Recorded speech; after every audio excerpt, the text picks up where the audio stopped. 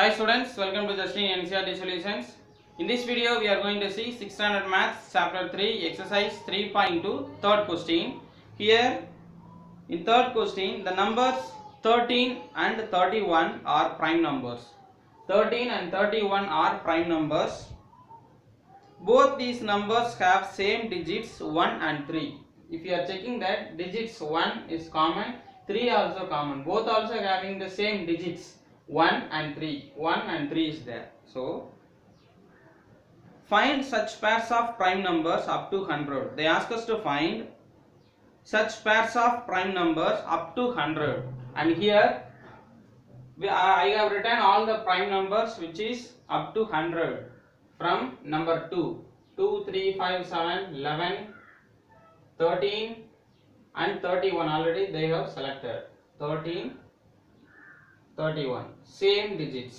1 1 3 3 and next we have to check it.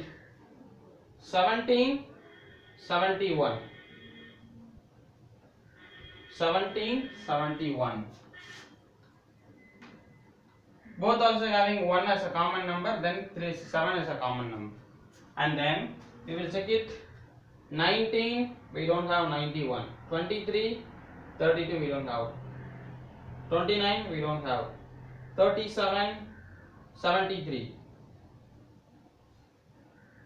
37 73 37 73 are prime numbers which is having a common number 3 and 7 and next number 41 we don't have number. Next 43 we don't have 47 we don't have.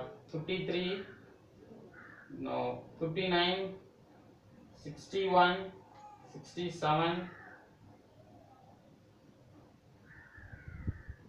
and here 79 97 7 7 9 9 is common number. So numbers. 79 97 here we have 7 7 common number 9 9 common number. So we have found all the pairs of prime numbers which is having a common number 1 1 and 3 3 and here 1 1 7 7 3 3 7 7 7 7 9 9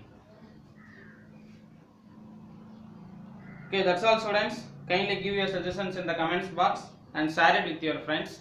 Thank you